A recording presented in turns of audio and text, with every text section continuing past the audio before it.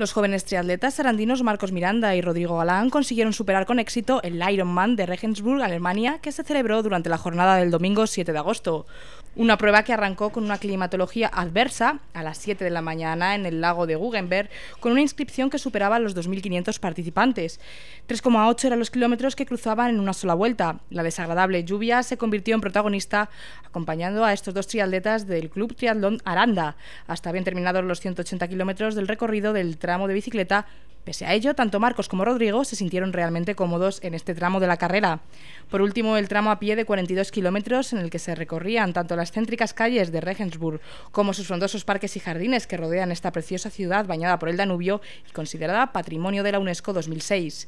Una fantástica experiencia que a buen seguro repetirán dada la gratificante sensación de haber compensado tanto esfuerzo y entreno durante los pasados meses. El tiempo total de Marcos Miranda fue de 11 horas 6 minutos 52 segundos, siendo el número 716 de la clasificación general y el vigésimo tercero en su grupo de edad. Rodrigo Galán obtuvo el puesto 435 de la general y el 94 en su grupo de edad, con un tiempo total de 10 horas 34 minutos 51 segundos.